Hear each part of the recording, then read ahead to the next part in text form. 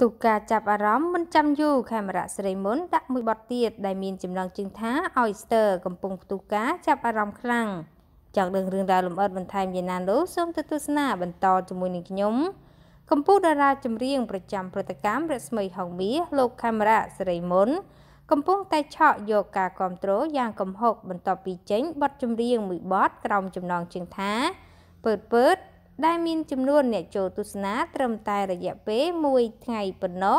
មានរហូតទៅដល់ជាង7លាននាក់ជាមួយគ្នានោះផងដែរតារាចម្រៀងរូបនេះពិតជាមានមោទនភាពយ៉ាងខ្លាំងដែលចម្រៀងរបស់លោកបានទទួលបានការគ្រប់គ្រងយ៉ាងខ្លាំងបែបនេះអ្វីដែលសំខាន់នោះគឺមានការគ្រប់គ្រងរហូតទៅដល់ក្រៅប្រទេសគាត់បានយកបទចម្រៀងមួយបទខាងលើយកទៅ cover និងរាំកំសាន្តផងដែរ បន្ទាប់ពីចេញបទចម្រៀងពើពើថៃនោះនៅថ្ងៃទី7ខែវិច្ឆិកាឆ្នាំ2020នេះព្រឹត្តិកម្មរស្មីហងមាក៏បានចេញបទចម្រៀងថ្មីមួយបទទៀតសម្រាប់រូបលោក ដែលមានចង្វាក់បែបកន្ត្រាក់អារម្មណ៍ទៀតហើយ ក្នុងបទចម្រៀងមួយបទនេះមានចំណងជើងថា Oyster ដែលនិពន្ធចម្រៀងទំនុកច្រៀងខេមរៈភិរុននិងនិពន្ធបទភ្លេងនិងសម្រួលតន្ត្រីឈិតតេងរិទ្ធ ក្នុងបទចម្រៀងថ្មីមួយបទនេះពិតជាធ្វើឲ្យបងប្អូនអ្នកស្ដាប់ប្លែកអារម្មណ៍ក្រោយបានស្ដាប់បទចម្រៀងមួយនេះហើយក៏មានអ្នកសរសើរថាពីរោះគ្រប់គ្រប់គ្នាអ្វីដែលពិសេសគឺមានបងប្អូនជាច្រើនសង្ឃឹមថាមួយនេះនឹងផ្ទុះការគ្រប់គ្រងដោយបទចម្រៀងពើតពើតដូចគ្នាឬអាចផ្ទុះខ្លាំងជាងនេះក៏ថាបាន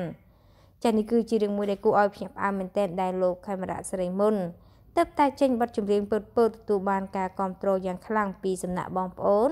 មិនថាក្នុងស្រុកឬក្រៅប្រទេសនោះទេ គឺតែងតែយកបទចម្រៀងនេះទៅរាំហើយនឹង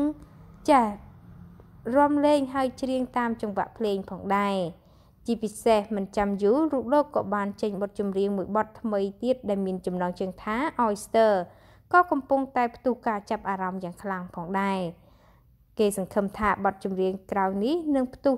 ចាស់ដោយបទចម្រៀងពើតពើតឬក៏អាចច្រើនជាងនេះក៏ថាបាន មានតែរងចាំទស្សនាមើលតែប៉ុណ្ណោះ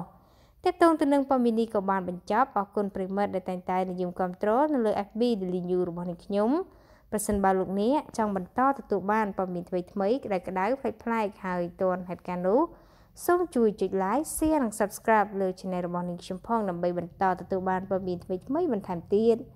មានពាក្យពេចន៍សម្ដីទាំងណាមិនសមរម្យនោះក៏សូមខន្តីអភ័យទោសទុកជាមុនផងដែរចាសសូមអរគុណក៏សូមជម្រាបលា